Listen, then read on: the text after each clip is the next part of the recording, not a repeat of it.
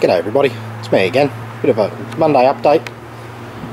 My head still isn't all there from the weekend. Um, me and Ed, Larry and uh, Trady Trev, um, and Dave, Wicked XE, we all had the live stream on the weekend and I ended up drinking for about at least four hours with those guys and then my mate Al came over and I kept drinking with him for at least another six hours so shattered. But uh, anyway, I did actually manage to get some work done. Managed to clean up the yard a bit. It's not so messy.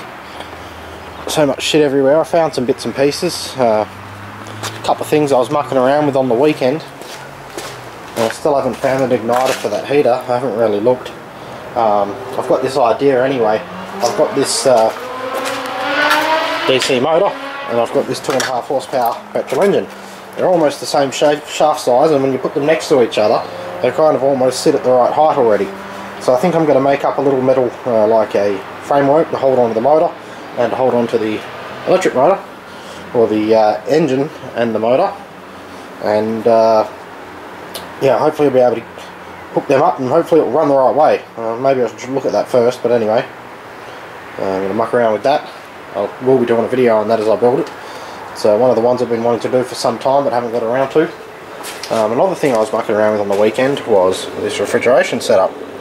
Now, all I basically do is just, you know, dunk the evaporator coil in the ice and uh, in the water and it starts freezing up. And, uh, I'm going to leave this running and see how much of an ice donut I can get going on in that coil. Um, compressor does get rather warm right now, it's really cold. Um, it's only been running for a couple of minutes. Now the return from the coil is actually cold so I'm led to believe that that should be somewhat cooling the internals of the compressor.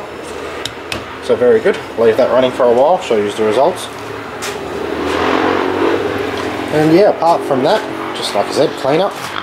Um, pulled the battery out the little mirror and it's all ready. I just got to pull the carby off and have a look at that. Uh, that's going to be trouble. That carburetor is going to be trouble. I just know it. Uh, found another old portable TV. Oh, it's been kicking around for a while.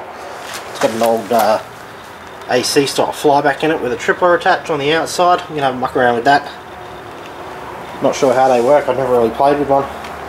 Trashed that TV, got the flyback out of it, that's inside at the moment. Um, surprisingly big output from a surprisingly small flyback, I'll show you that one too. And uh, apart from that, yeah, thanks for watching. Um, thanks for listening to us all get drunk and talk shit on the weekend. And uh, yeah, much more to come.